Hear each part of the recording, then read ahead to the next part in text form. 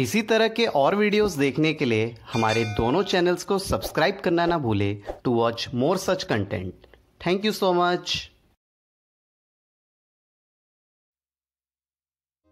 much